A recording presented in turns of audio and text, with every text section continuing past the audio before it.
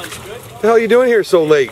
Well, um, you know, when it, if it isn't broke, don't. Or yeah, if it isn't broken, don't fix it. The board decides to fix it, and then we thought we had it fixed, but we didn't. So, What, the, the motor?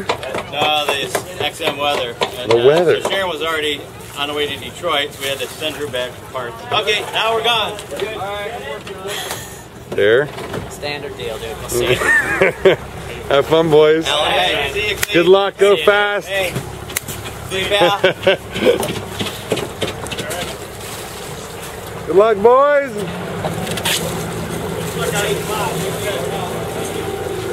Natalie J.